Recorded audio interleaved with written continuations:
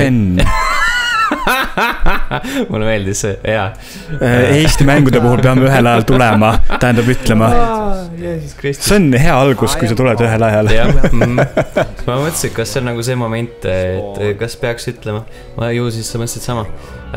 see on Death and Taxes, see tegelikult ilmus juba aasta alguses arvuti peale, aga nüüd see jõudis värskelt Switch'ile ja mispärast äh, ongi nüüd põhjust seda uuesti, uuesti üle vaadata. sa arvuti peal oled selle läbi teinud, onju? jaa, ma võin sulle saladuskattel öelda, et äh, ma olen selle Switch'i peal ka läbi teinud okei, mitu korda. ta ei ole nagu kõige pikem mäng, sellest on võimalik läbi joosta nii-öelda. okei, okei.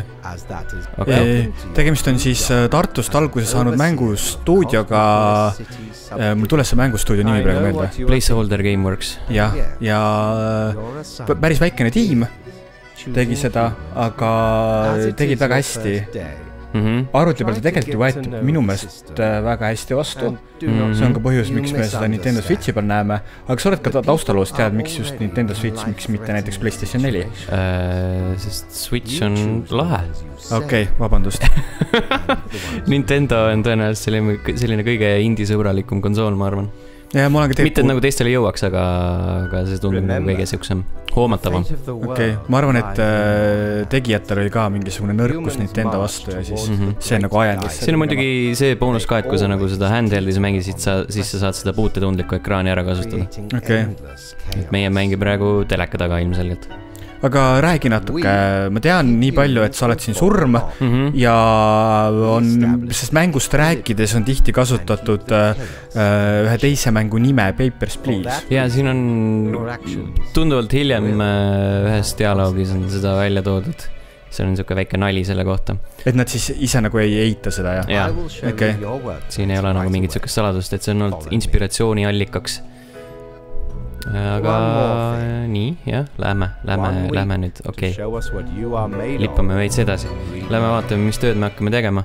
põhimõtteliselt me otsustame selle üle, kes äh, sureb ja kes ellu jääb. siin selle peal on nagu need ülesanded, täpselt samamoodi nagu Papers, Please'il oli ka mingi iga hommikul selline teatud äh, memo, mille järgi sa pidid asju ajama. siin nurgas on väike telefon, mis nagu erilist tähtsust ei oma, ta lisab seda nii-öelda taustlugu, et kui sa mingi tüübi äh, maha koksad nii-öelda, siis see mõjutab üleüldist maailma. ehk siis sinu tänane eesmärk on, et äh, üks inimene peab surema, jah? jah aga kui sa kohe kellegi ära tapad, siis on äh, päev läbi või? äh,, ei no see on sihuke tavaline tööpäev, me saame vaadata, mis, mis sorti inimestega tegu on, Äh. meeldib teha tasuta tööd. jah.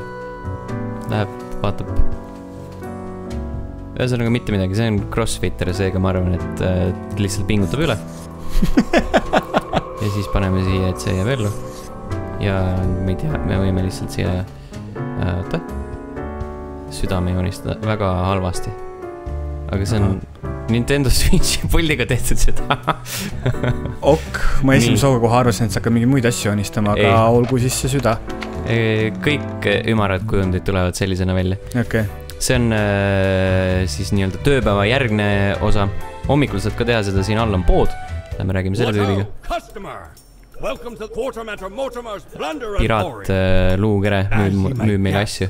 osad neist on äh, kosmeetilised, nagu see mask seal.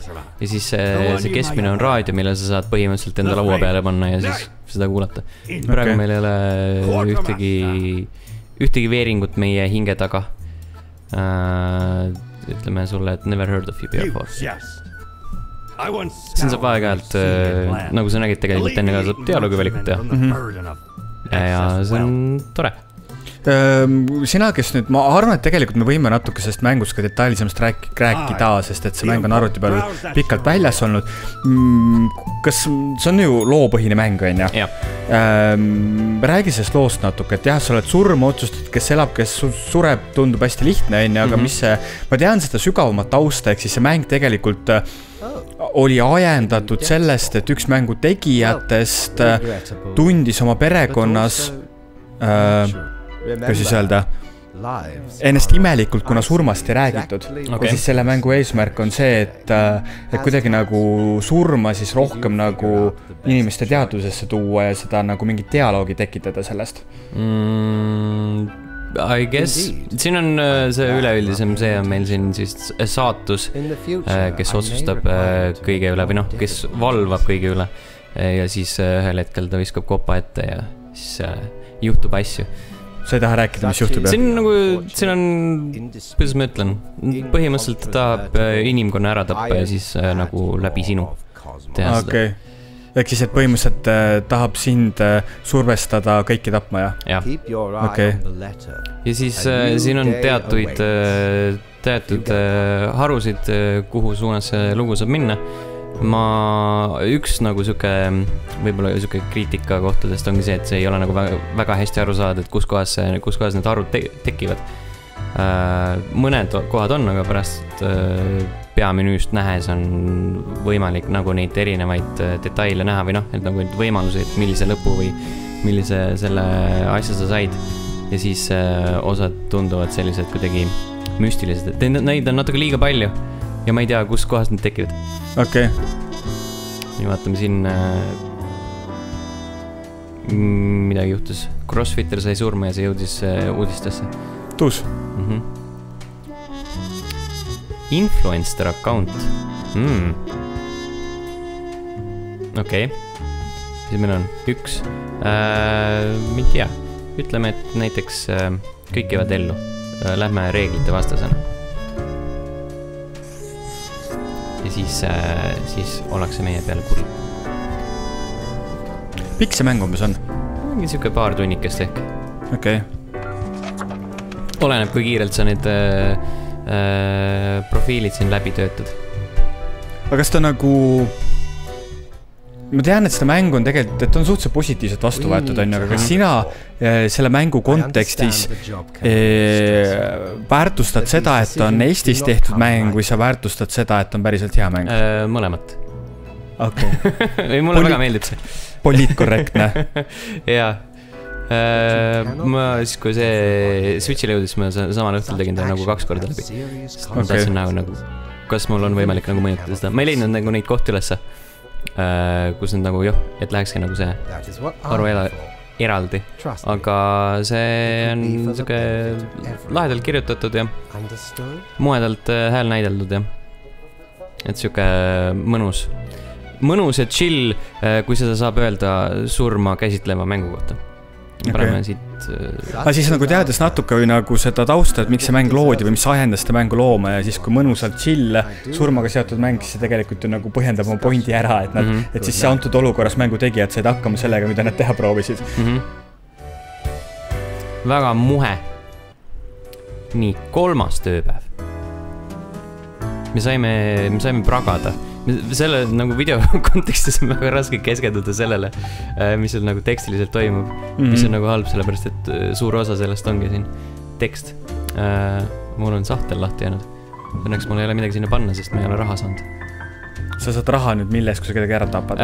kui ma teen tööd hästi, ehk siis kaks inimest surevad ära. okei, Äh, siin alguses oli muidugi see ka, et äh, kohe esimesel päeval saad küsida, et kas sa saad raha selle eest või mitte.